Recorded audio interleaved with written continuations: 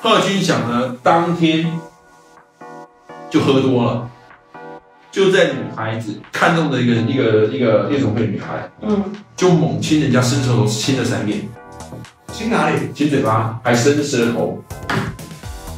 重点是，他们最后还还办了下一场，下一场去了哪里？我跟大家说了，因为张贺军翔是有婚姻的，有小孩了。礼拜二的时候是谁生日？张俊贤生日。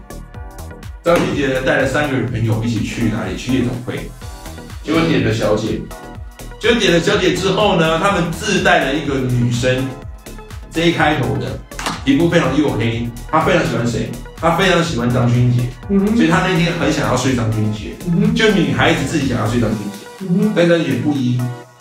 结果呢，贺军翔呢当天就喝多了，就在女孩子看中的一个一个一个夜总会女孩，嗯，就猛亲人家伸舌头亲了三遍，亲哪里？亲嘴巴，还伸舌头。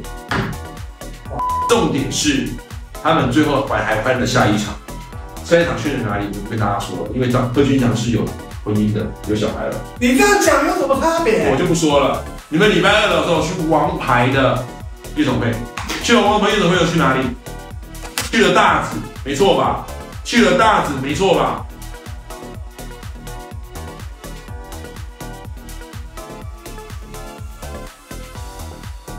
你确定可以讲可以讲事实，因为我昨天去查证了，？OK，我有录音啊，我有查证啊。如果贺俊强临挑挑战我的话，我就把证据拿出来了。